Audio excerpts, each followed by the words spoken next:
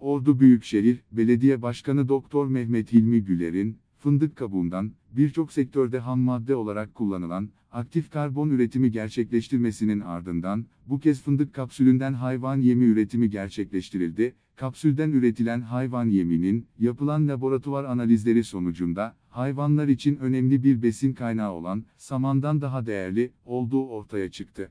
Şu anda en ince ayarında Bir de bunu elemeye gerek var mı acaba?